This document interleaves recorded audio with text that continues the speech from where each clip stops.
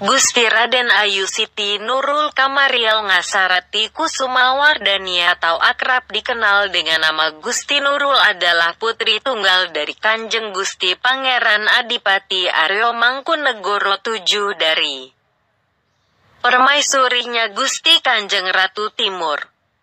Ayah Gusti Nurul adalah seorang ningrat dari Solo yang beristrikan putri dari Kasultanan Ngayogyakarta Hadiningrat.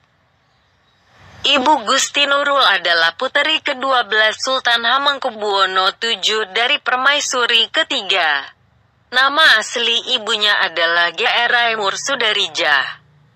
KGPA Mangkunegoro VII sendiri adalah pemegang tampuk pemerintahan Mangkunegaran dari tahun 1916 sampai 1944.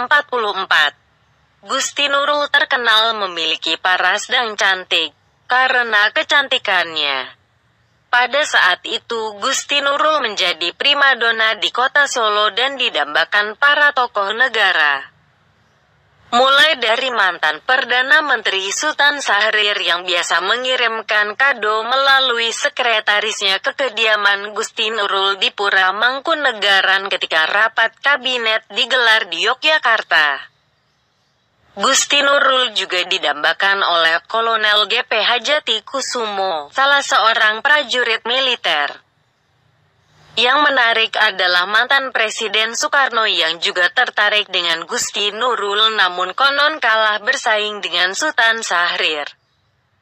Tokoh negara lainnya yang mencoba meminang Gusti Nurul adalah Sri Sultan Hamengkubuwono IX yang memiliki sembilan orang selir.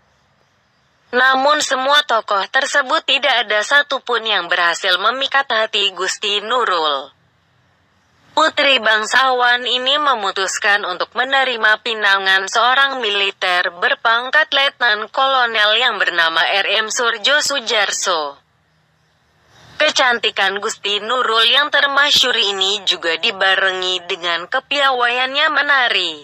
Suatu kali, di usianya yang masih 15 tahun, Gusti Nurul diminta datang secara khusus untuk menari di hadapan Ratu Wilhelmina di Belanda. Tarian tersebut dipersembahkan sebagai kado pernikahan Putri Juliana. Menariknya, saat itu rombongan dari Mangkunegaran tidak membawa gamelan untuk mengiringi tarian Gusti Nurul. Tarian itu diiringi alunan gamelan yang dimainkan dari Pura Mangkunegaran dan dipancarkan melalui Solose Radio Vereniging yang siarannya bisa ditangkap dengan jernih di Belanda. Gusti Nurul juga dikenal sebagai salah satu tokoh yang membidani berdirinya Solose Radio Vereniging, stasiun radio pertama di Indonesia.